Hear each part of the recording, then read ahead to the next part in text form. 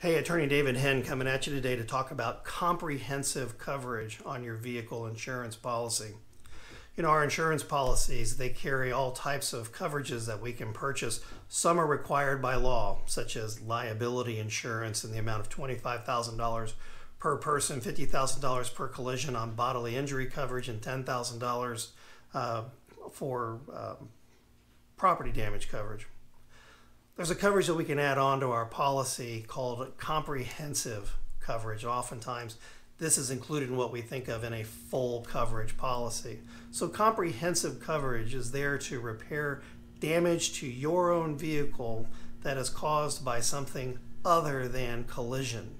So, if you have damage that's caused by a collision with another vehicle or a stationary object, usually that's going to be covered under your collision coverage comprehensive coverage covers damage to your vehicle that's not caused by a collision.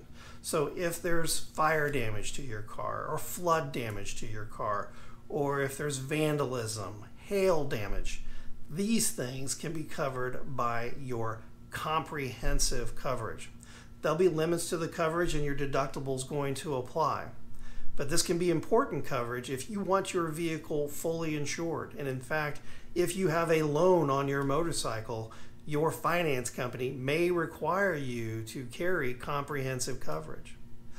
Know what your comprehensive coverage uh, covers, know what all it entails, know what your deductible is, and the limits of that coverage. After all, it's coverage that you specifically purchased, and you're paying a specific premium for it ask questions of your insurance company or your insurance agent. Make sure you understand what coverages you have and what the limits of those coverages are.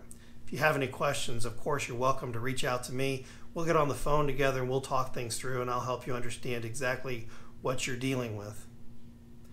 Stay safe out there, enjoy the ride, and we'll talk again later.